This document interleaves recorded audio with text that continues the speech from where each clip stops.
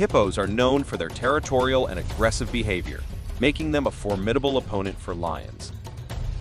Lions often refrain from engaging with hippos due to the inherent risks. We observe a situation where a lion is harassed by a determined hippo, a rare occurrence that underscores the hippo's power.